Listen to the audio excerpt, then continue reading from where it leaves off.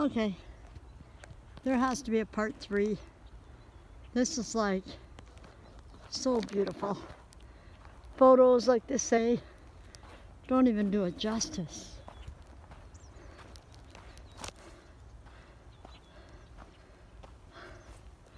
Just beautiful from this angle.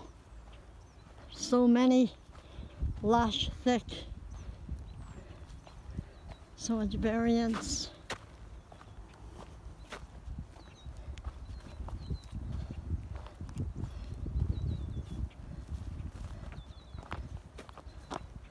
That's, wow, so much lushness.